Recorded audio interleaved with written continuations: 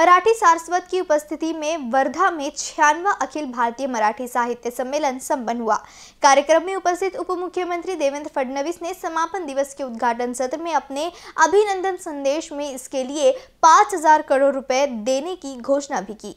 कार्यक्रम में बोलते हुए उप मुख्यमंत्री देवेंद्र फडणवीस ने कहा कि पिछले कुछ वर्षों में भाषा संरक्षण में आई गिरावट की भरपाई की जाएगी और अब केंद्र सरकार ने नई शिक्षा नीति तैयार की है और अंग्रेज़ी की बजाय सभी ज्ञान आधारित पाठ्यक्रम मराठी भाषा में तैयार किए जाएँगे। उन्होंने समझाया कि मराठी अब ज्ञान की व्यवहारिक भाषा बनेगी।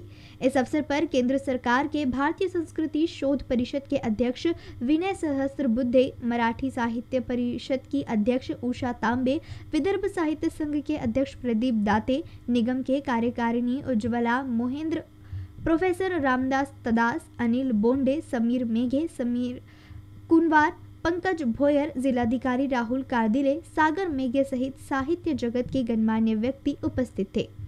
इन न्यूज़ के लिए क्षितिजा देशमुख की रिपोर्ट।